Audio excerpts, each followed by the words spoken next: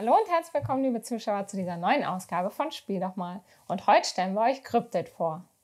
Cryptid ist ein Spiel von den Autoren Hall Duncan und Bruce Reavers mit Illustrationen von Kwanchai Moraya. Es ist für drei bis fünf Spieler ab zehn Jahren, dauert ca. 40 Minuten und bei Skellig Games erschienen. Eine Karte gibt den Spielaufbau vor. Außerdem erhält jeder Spieler ein Hinweisbuch. Welcher Hinweis bei dieser Partie relevant ist, gibt ebenfalls die Karte vor. Entsprechend des Hinweises müssen die Spieler jetzt zwei Durchgänge lang jeweils reihum und abwechselnd ein Feld mit einem eigenen Würfel markieren, das laut ihres Hinweises nicht der Aufenthaltsort des Kryptet sein kann. Würfel bedeutet immer, dass es dieser Ort laut des Hinweises dieses Spielers nicht ist. Scheiben bedeuten, dass es dieser Ort sein könnte. Die Spieler müssen immer wahrheitsgetreu markieren. Die Hinweise drehen sich um Geländetypen, Territorien und Bauwerke. Zum Beispiel könnte ein Hinweis sein, dass das gesuchte Feld ein Wald oder ein Sumpf ist. Oder im Umkreis von etwas Bestimmten liegt, etc. Auf der Rückseite der Hinweisbücher gibt es eine Übersicht über die Möglichkeiten. Ziel des Spiels ist es, schneller als die Mitspieler den Aufenthaltsort des Kryptid herauszufinden.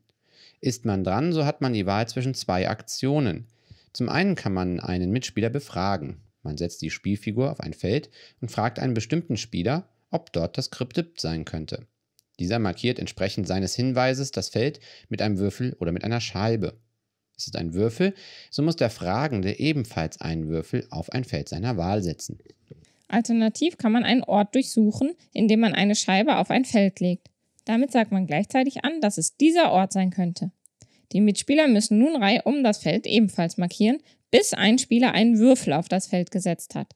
In diesem Fall muss der Durchsuchende wieder einen Würfel auf ein beliebiges Feld setzen. Setzen alle Spieler eine Scheibe auf das Feld, so ist das der Aufenthaltsort des Kryptid und der Spieler, der durchsucht hat, gewinnt das Spiel. Cryptid ist für mich so ein Deduktionsspiel in Reinform und ich muss sagen, ich liebe es. Also wer gerne kopflastige Spiele spielt, wo man sich viel, man kann gar nicht sagen merken muss, aber viele Informationen gleichzeitig im Kopf verarbeiten und so verketten, dass dabei eine sinnvolle Information rauskommt. Wer sowas mag, der wird dieses Spiel lieben. Und hier muss ich wirklich, wirklich die, ähm, die Leistung von den Autoren und vom Verlag äh, herausheben, weil es ist wahnsinnig schwierig. Es gibt so wahnsinnig viele ja, Level oder also eben Möglichkeiten, die Karte ähm, hinzulegen. Und es ist so schwierig, dass man das alles fehlerfrei hinkriegt. Die Karte hinlegen, diese Teile draufsetzen. Jeder hat ja dieses Handbuch, wo hier fast 100 Hinweise drin sind und jedem den richtigen Hinweis zu geben, sodass nur eine einzige eindeut äh, eindeutige Lösung hier ist.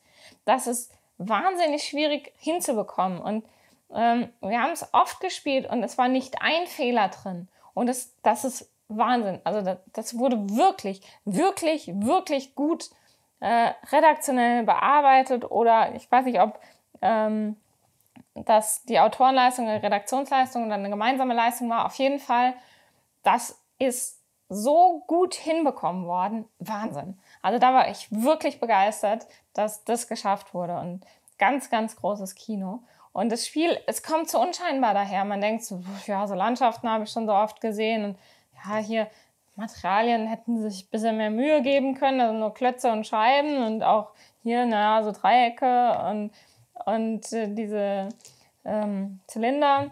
Das war's.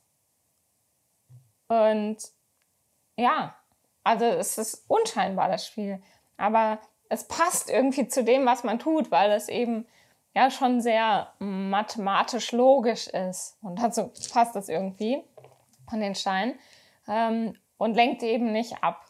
Und wer sowas einfach mag, wird Cryptid lieben. Also ich fand es genial. Man kann dieses Spiel nicht mit jedem spielen, aber wenn man da eine Runde hat, die ähm, sowas mögen, dann war das bei uns so, wir konnten das den ganzen Abend spielen, immer wieder.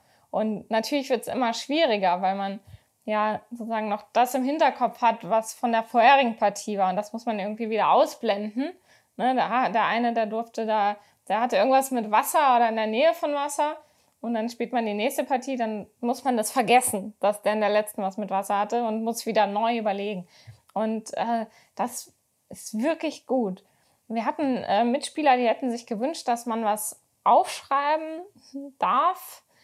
Ähm, also, dass man zum Beispiel, man hat hier so eine Übersicht, was es alles für Hinweise gibt, dass man praktisch so eine Art Liste hat, wo man dann so abhaken kann. Aber ich finde, das würde das Spiel tatsächlich dem viel nehmen, weil es lebt davon, dass viel im Kopf passiert und man im Kopf kombiniert. Wenn man nur stumpfsinnig abhakt, das kann der nicht haben, das kann der nicht haben, das kann er nicht haben, dann ist es kein richtiges Spiel mehr.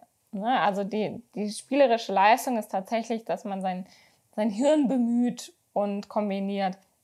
Deswegen finde ich es genau richtig, dass man eben nichts zum Notieren hat, weil man muss sich das nicht merken, aber man muss sich immer, also man kann sich ja immer wieder neu herleiten.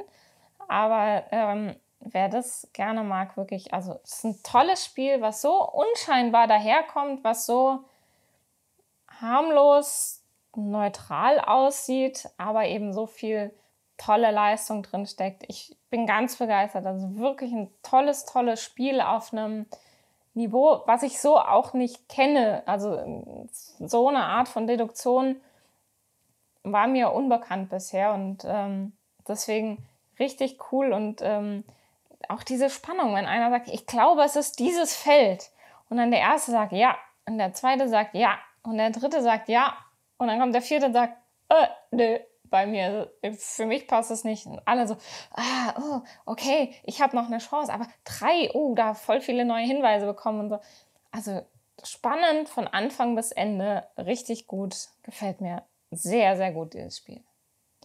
Ja, dann hoffe ich, ich konnte euch hier ähm, einen guten Einblick in das Spiel geben. Ich wünsche euch weiterhin viel Spaß beim Spielen und hoffe, ihr schaltet wieder ein, wenn es heißt, spiel doch mal.